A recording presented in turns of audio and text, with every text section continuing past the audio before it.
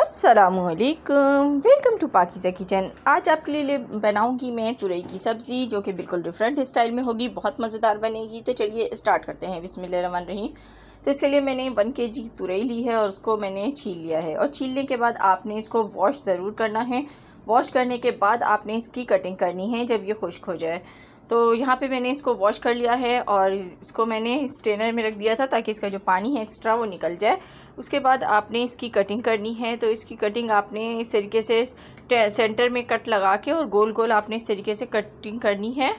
और पीस जो है वो आपका इतना ही मोटा होना चाहिए जितना यहाँ पे आपको नज़र आ रहा है। इस तरह से आपने पूरी तुरई को कट कर लेना है। तो देखिए यहाँ पे तुरई कट हो गई है। अब इसमें हम डालेंगे नमक, आधा खाने का चम्मच। लाल मिर्च का पाउडर, आधा खाने का चम्मच या हसब ज़रूरत डाल लीजिएगा और हल्दी चौथाई खाने का चम्मच। तो ये तमाम चीज़ें डाल के इसको आपने अच्छी तरीके से मिक्स कर लेना है। और मिक्स करने के बाद आपने इसको तकरीबन पंद्रह मिनट के लिए इसी तरह से छोड़ देना है। तो यहाँ आप लोगों से छोटी सी रिक्वेस्ट है, जो लोग अभी चैनल पर न्यू आए हैं और अभी तक मेरे चैनल को सब्सक्राइब नहीं किया है तो चैनल को सब्सक्राइब कर दीजिए। वीडियो पसंद आ रही है तो लाइक कीजिए बेल को नोटिफिकेशन पे कीजिए ताकि मेरी वीडियोस का नोटिफिकेशन आप तक पहुँच सके। तो अब मैंने यहाँ पर एक बर्तन में ऑयल ले लिया है और ऑयल आपने थोड़ा सा ज़्यादा लेना है।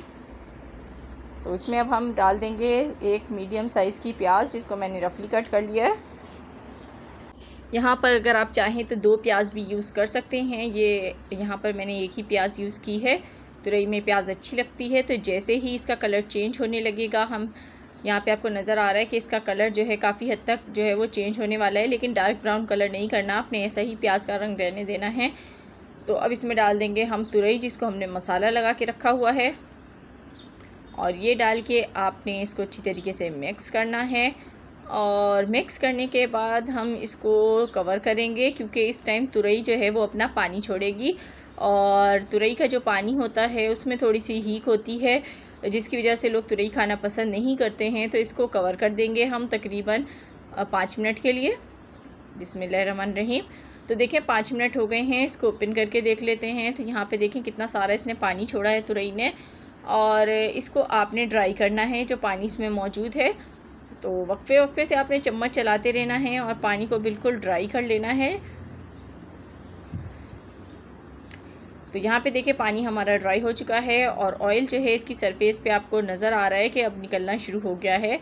तो इसमें अब आप डालेंगे चौथाई खाने का चम्मच लहसुन अदरक का पेस्ट बहुत ज़्यादा हम इसमें लहसुन अदरक का पेस्ट यूज़ नहीं करेंगे क्योंकि इसकी जो स्मेल होती है बहुत स्ट्रॉन्ग होती है लहसुन अदरक की।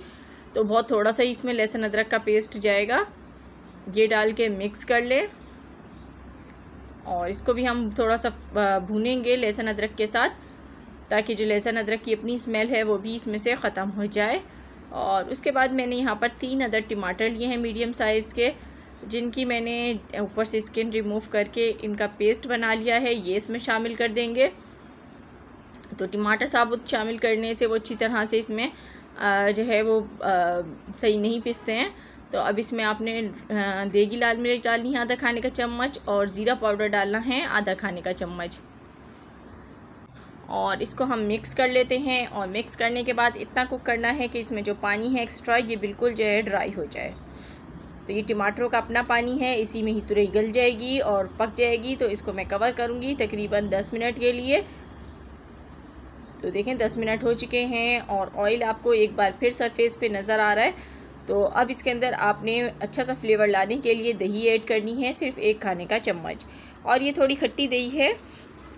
अगर आपकी मीठी दही हो तो आप दो खाने के चम्मच भी यूज़ कर सकते हैं। तो इससे जो इसका फ्लेवर है, बहुत अच्छा आएगा तुरई का और बहुत ही डिफरेंट स्टाइल की मज़ेदार सी तुरई आपकी बन के रेडी होगी।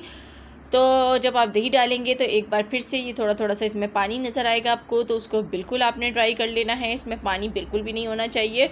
और इसमें लास्ट में आपने ग्रीन चिलीज़ डालनी है और ग्रीन चिलीज़ डाल के आपने इसको एक से दो मिनट तक कुक करना है। उसके बाद हम इसको उतार लेंगे।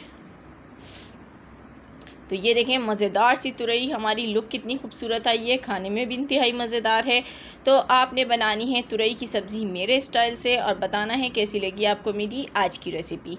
पसंद आई हो तो लाइक एंड शेयर कीजिएगा, मिलूँगी नेक्स्ट वीडियो में।